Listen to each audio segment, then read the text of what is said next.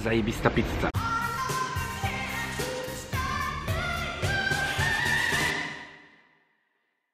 Hej, witajcie, z tej strony Maciej. Jestem w Bydgoszczy.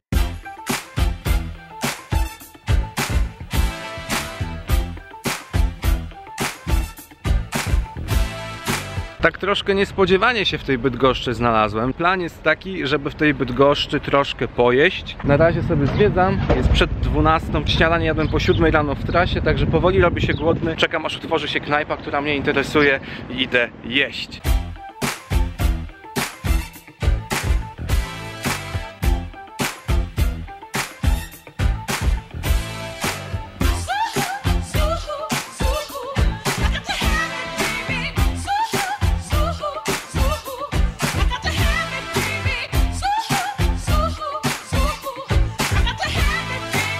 Każdym mieście musi być jakiś taki mały, uroczy mostek z kłódkami dla zakochanych.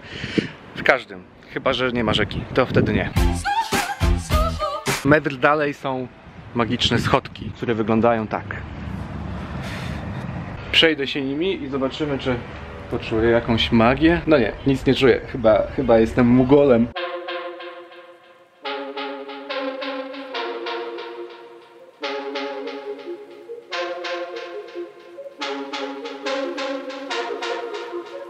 Na pierwszy ogień wziąłem miejsce, na które najbardziej się napaliłem w Bydgoszczy, czyli Luizjanę. Lokal, który obecny jest także w Toruniu, nawet chyba z Torunia się wywodzi. Luizjana specjalizuje się w kuchni kreolskiej, co jest dość niespotykane w Polsce. Chodzi o kuchnię, która dominuje w okolicach Nowego Orleanu, dominuje w Luizjanie, w stanie Luizjana, w Stanach Zjednoczonych. No, byłem bardzo ciekawy tego miejsca, byłem bardzo ciekawy tych dań, a przyznam, że wychodząc z tego miejsca czuję się lekko zawiedziony, co jednak może wynikać też z moich jakichś takich wysokich oczekiwań. A może też jest tak, że akurat w tej restauracji e, tej kuchni nie odzwierciedla się zbyt dobrze. Może ją się spolszcza, może się dodaje mniej przypraw. Takie odniosłem wrażenie, że w tych daniach, które jadłem, e, tych przypraw było ciut za mało, tej pikantności było ciut za mało, bo jednak e, ta kuchnia kojarzy mi się z dość pikantnymi smakami. A na kuchnię kreolską napaliłem się oglądając jeden z odcinków Agri Delicious. To jest taki serial kulinarny, który prowadzi Dave Chang na Netflixie. Do tej pory pojawił się jeden sezon, 8 odcinków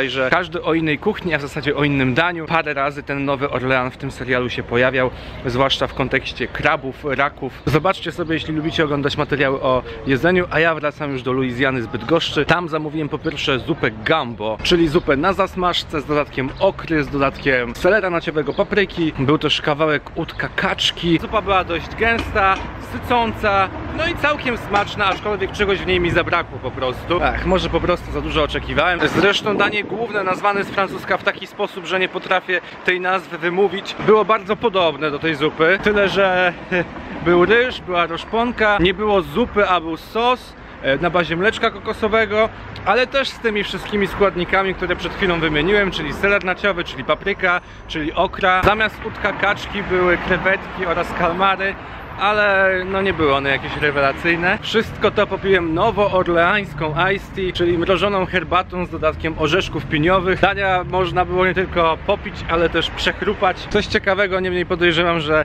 sama mrożona herbata to była mrożona herbata prosto z jakiegoś kartonu. Nie była zbyt smaczna, szczerze mówiąc. Raczej nie zostałem zachęcony do ponownych odwiedzin, chociaż mają tam steki, mają tam burgery, może one e, wypadają lepiej. Nie mogę powiedzieć, że zjadłem niesmacznie, ale jednak spodziewałem się czegoś więcej, także dla Luizjany trzy gwiazdki na pięć możliwych, a ja idę zjeść coś słodkiego.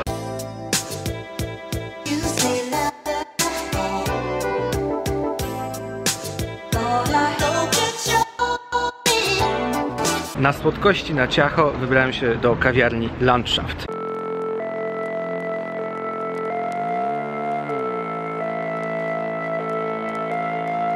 Landschaft to takie miejsce, które przede wszystkim skupia się jednak na dobrej kawie. Znajdziecie tam wszystko to, czym takie dobre, e, nowoczesne kawiarnie się charakteryzują, czyli jakieś dobre ziarna, e, czyli kilka rodzajów stylów zaparzania. Ja się na tym dokładnie nie znam, ja kawy nie próbowałem, więc e, mówię tylko jakie odniosłem wrażenie. Abstrahując jednak od samej kawy, jest to bardzo fajne miejsce do posiedzenia, do popracowania.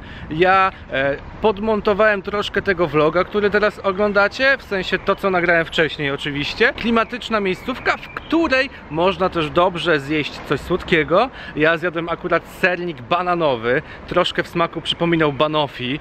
Fantastyczny, naprawdę palce lizać. Do tego napiłem się matcha latte, e, czyli to jest e, herbata matcha z mlekiem. Ludzie dzielą się na takich, którzy lubią matcha latte i na takich, którzy jej nienawidzą. Nie zawsze ona kawiarnią wychodzi, a tutaj było naprawdę świetnie. Także w przeciwieństwie do Luizjany, do landszaftu kiedyś z chęcią wrócę. Na tę chwilę cztery bardzo mocne gwiazdki.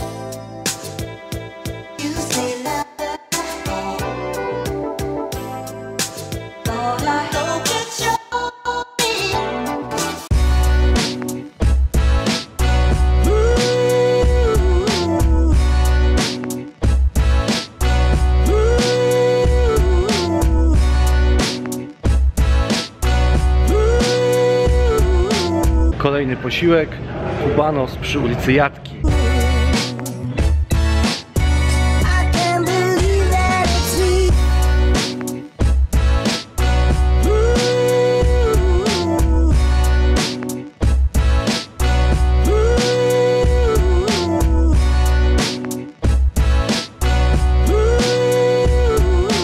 Fajny restauracyjny kompleks tutaj przy ulicy Jatki. Być może jeszcze tutaj wrócę na coś innego. Jeśli nie dzisiaj, to jutro. Coś, coś czuję, że, że to się stanie. Teraz byłem w Kubanos. Kubanos, które chyba przez większość czasu było food truckiem. Food truckiem, w którym e, można zjeść kanapki. Przede wszystkim kanapki kubańskie, ale też jakieś buły z porkiem i tak dalej. Ostatnio jakiś czas temu w Meat Us w Poznaniu mieli taką kanapkę kubańską. Była ona w specjalnej ofercie, już w niej nie jest, także jej raczej już nie zjecie. Niemniej tam mi ona naprawdę bardzo posmakowała. Tutaj w Bydgoszczy już takich ochów i achów niestety nie było.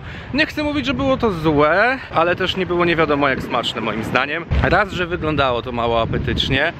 Dwa, że e, przede wszystkim czułem musztardę i ogórki. Trzy, że łopatka wieprzowa, która jest jakby sercem tej kanapki, no nie przypadła mi do gustu, szczerze mówiąc. Także no, drugie rozczarowanie dzisiaj w Bydgoszczy. Może nie jakieś ogromne, ale jednak rozczarowanie taką kubańską kanapkę na pewno da się zrobić lepiej. Tak jak mówiłem, tutaj zawiodło przede wszystkim mięso. Moim zdaniem powinno być ono ciut bardziej wyraziste. Dla Kubanos, podobnie jak w przypadku Luizjany, 3 gwiazdki na 5. You say love. All I hope that you'll be. A ja mówiąc szczerze, coś bym jeszcze zjadł. Ale nie chcę się jakoś mocno obiadać, żeby mieć jeszcze siły na wieczór. Jest gdzieś koło godziny 16, no już prawie 17, także tam za mną są lody. I zjem sobie te lody. Tak.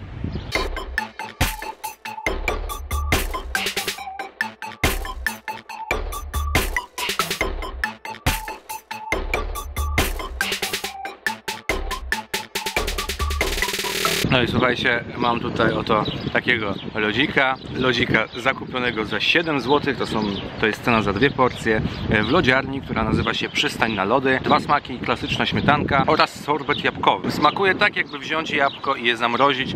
Także no podejrzewam, że tutaj w przystani na lody nie bawią się w żadne pasty, tylko robią te lody tak prawilnie, jakie trzeba robić, czyli od podstaw. No ten sorbecik świetny, śmietanka bardzo dobra. Nie jest to może poziom krasnoluda z Wrocławia czy good lud z Krakowa, ale naprawdę dobre lody. Mogę je śmiało polecić, także jak będziecie w Bydgoszczy i będziecie mieć ochotę na lodzika, przystań na lody, e, ulica Stary Port bodajże 3. Jeśli interesuje Was ile gwiazdek, no to dałbym 4, ale takie mocne, takie mocne, tak, tak.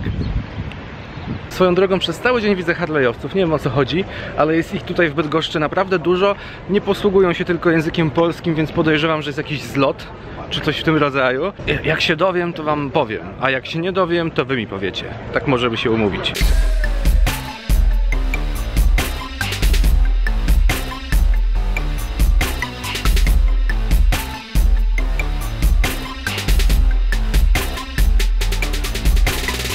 Odpocząłem sobie chwilkę, byłem się zameldować w miejscu mojego noclegu i teraz idę już na kolację. Bardzo chciałbym zjeść pizzę.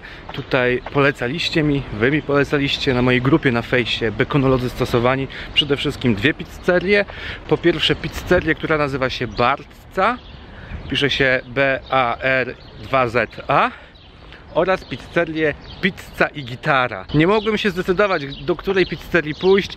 Przejrzałem zdjęcia wrzucane w internecie z obu tych pizzerii i w obu przypadkach ta pizza wyglądała bardzo, bardzo, bardzo dobrze. Zdecydowałem się na pizzę i gitarę. Zobaczymy jak to wyjdzie.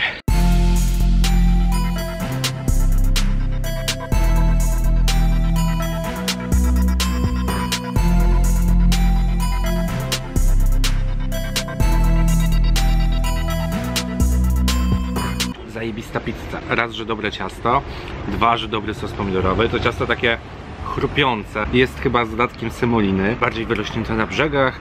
Tutaj takie e, cieńsze, pyszny sos pomidorowy. Ta kompozycja jest świetna, bo to jest pizza z mozzarellą z mleka bawowego, czyli z mozzarellą di bufala oraz z czarną truflą, nie z dodatkiem oliwy truflowej, co powiedzmy czasem się zdarza, tylko z czarną truflą, co już jest takim troszkę wydarzeniem. Pycha. Póki co te słone rzeczy w Bydgoszczy mi nie smakowały i pizza uratowała honor tego miasta. Ale tak serio, pizza fantastyczna, Bydgoszcz nie ma się czego wstydzić, pizza i gitara podaje pizzę na naprawdę wysokim ogólnopolskim poziomie. Poziom na przykład takiej frontiery z Poznania czy ciała tutti z Warszawy. No bardzo zbliżone, pewnie musiałbym zjeść e, tę pizzę e, tego samego dnia, żeby jakoś tak dogłębniej porównać, ale no tutaj mi smakowało, widziałem z jakich produktów jest to przygotowywane. Pierwsza klasa, e, śmiało możecie odwiedzać pizzę i gitarę. Też dzisiaj trafiłem na super kompozycję, żal było nie skorzystać. Jestem bardzo, bardzo zadowolony. No i nie pozostaje nic innego, jak dać pizzy i gitarze 5 gwiazdek na 5 możliwych.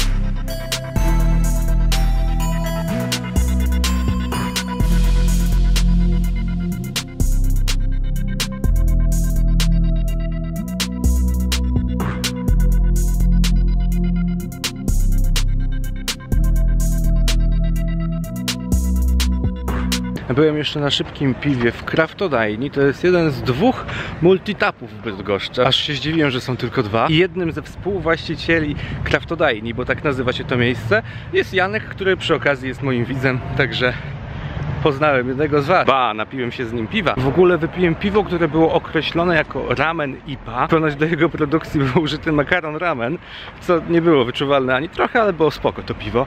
E, Także z ciekawości, z ciekawości można spróbować. Janek mi jeszcze powiedział o co chodzi z tymi Harley'owcami wszystkimi. W Bydgoszczy jest teraz największy w Europie zlot Harley'owców, stąd ich tyle. Na dzisiaj myślę, że to już wszystko. Zaraz będzie 22. Ja zaraz idę spać, montować ten odcinek. Najpierw montować, później spać. Widzimy się jutro w kolejnym vlogu z Bydgoszczy. Pewnie będzie troszkę krótszy od tego, bo nie będę aż tyle w Bydgoszczy co dzisiaj. Do zobaczenia w lepszych czasach. Na razie, cześć. Smacznego.